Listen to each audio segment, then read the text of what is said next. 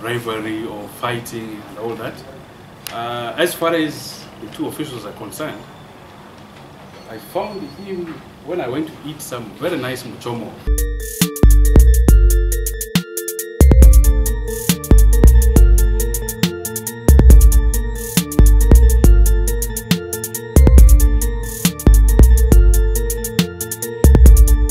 My name is Joel Aita. I'm the chairman of Arua Hill Sports Club. Uh, some few weeks ago it was called Doves All Stars. Uh, it changed ownership to a company called Development Infrastructure. We've bought 100% shares of uh, Doves All Stars. So as part of our company strategy, we've carried out a complete rebranding. Complete rebranding of uh, the former Doves All Stars. We started first of all by change of name. So when the ownership changed, uh, we came up with a change of name, which we mentioned as Arua Hill uh, Sports Club. Somebody will ask why uh, Arua Hill Sports Club? One is we wanted to have a local identity, uh, where it's coming from. And then secondly, currently our company, DI, is actually constructing a stadium. Uh, in, in, it's, a, it's a partnership with the Arua City Council. It's a PPP, public-private partnership. It's going to be a 20,000 uh, seater stadium, which is al- uh, almost now 60% done. By July next year, we'll be done with it. And uh, this has been financed by development infrastructure. And this stadium is going to be called Arua Hill Park. So together with that name, we felt it would be very good to, to have a club called uh, Arua Hill uh, Sports Club. Sports Club because we're not just looking at uh, football alone, we're looking at a number of other sports acti- activities. Like for example, in in in the, in the stadium, we have other sports activities like tennis, basketball, volleyball, netball. So all those other activities are, are there. So we felt the, the, the club should be able to, in the near future, have all those kind of uh, sporting activities. We, as part of our branding, we also changed the, the logo from dove to, to leopard. Uh, as you may know or may not know, the West Nile has their, their emblem, their totem is leopard. They normally have a saying that uh, that the Lugbara is, oh, West Nilers are like leopards. Very, very calm until you touch him. So the, the club is taking that, uh, that, that, that emblem as, a, as, as, the, as their logo. So when, when you see down in our logo, we have a leopard. And then we also change the motto. Our motto is called Together We Are Congolo. Now somebody will wonder, what, what does the word Congolo mean? A friend of mine recently had to go to the dictionary. When he reached K0, he didn't find the, the word Congolo. Then he calls me back. He says, but that's not an English word. Okay, I will translate it for you. It's actually a Lugbara word. Together we are Congolo means together we are strong. The word Congolo is strong. So when we come together, this team will not be beaten. So that, that is part of our branding aspects. Change of ownership, change of name, change of logo, and even change of our motto. So those were a few aspects our club came with. So what is our targets? What's our strategy? Um, our team has come up with a five-year strategic plan in place. That's our first five-year strategic plan.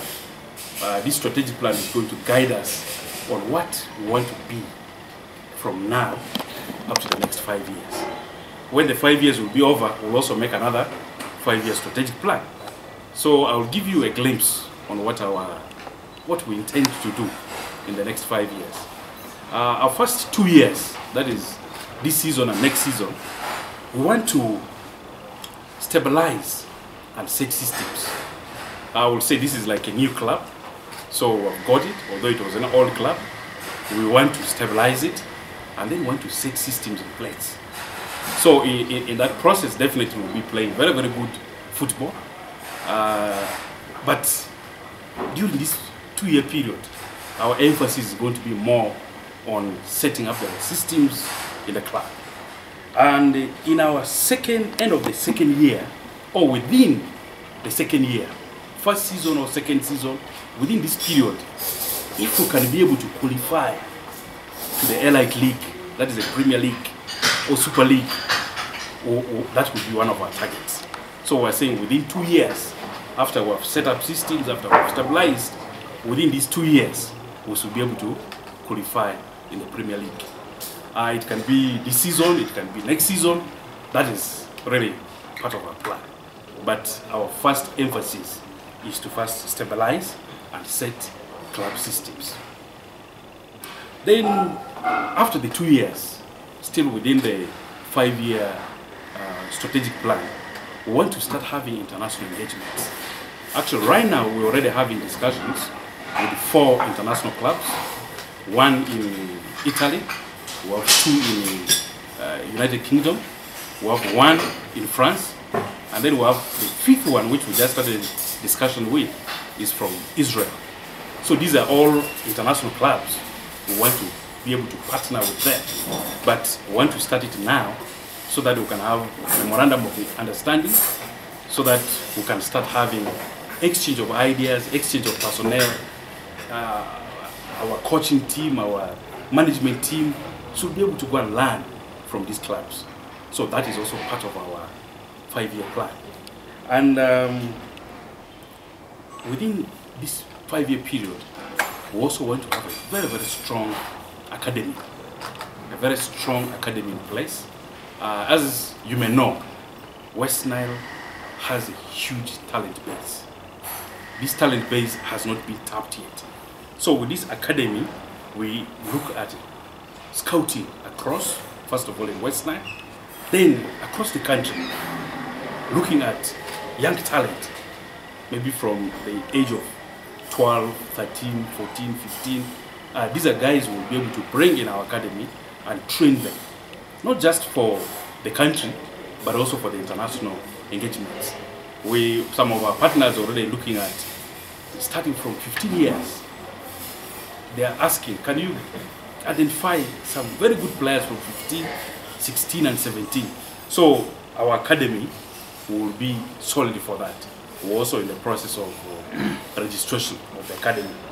And then uh, within the five years, one of the targets we want to add in is the ladies club. We want to have ladies football in our club. So we're going to have that department for ladies football it's picking up.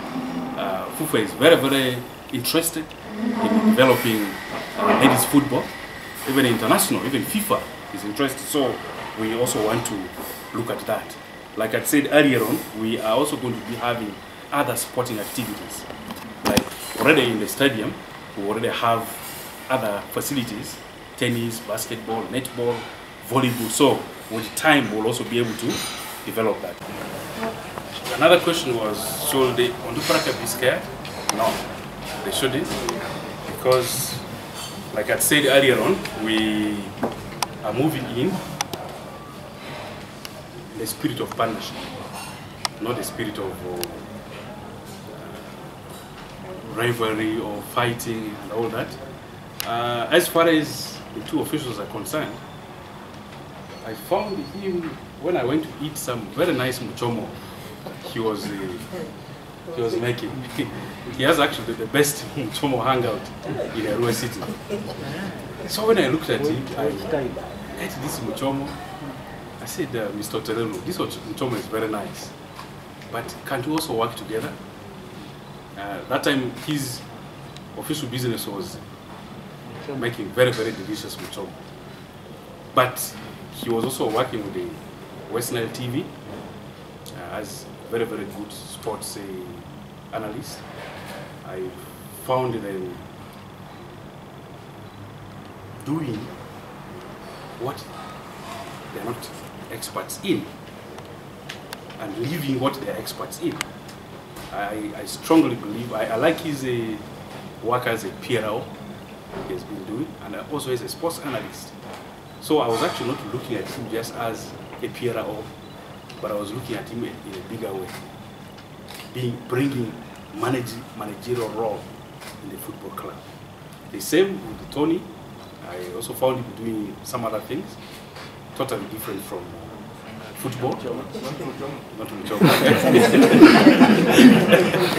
so I, I, I really found it when they were when they were not together with the, with the, with the club. But as I said again, I fully respect Ponte They have done a lot for, for the country and they're still doing a lot. And I strongly believe we can be able to work together and to, to, to develop West Nile football. And in that spirit, we'll be able to work. That is what really I want to come into.